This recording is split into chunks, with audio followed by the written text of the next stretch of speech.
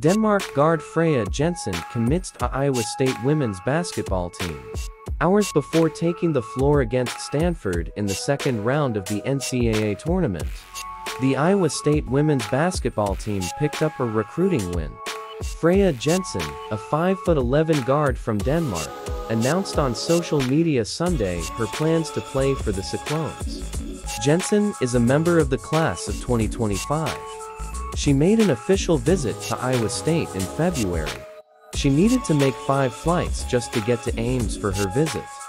During the trip, she raved about the Iowa State fanbase shed heard so much about.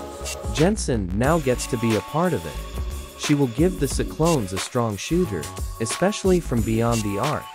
Jensen played in the FIBA U18 Women's European Championship in 2023, averaging 16.7 points, 4.9 rebounds, and 2.6 assists per game.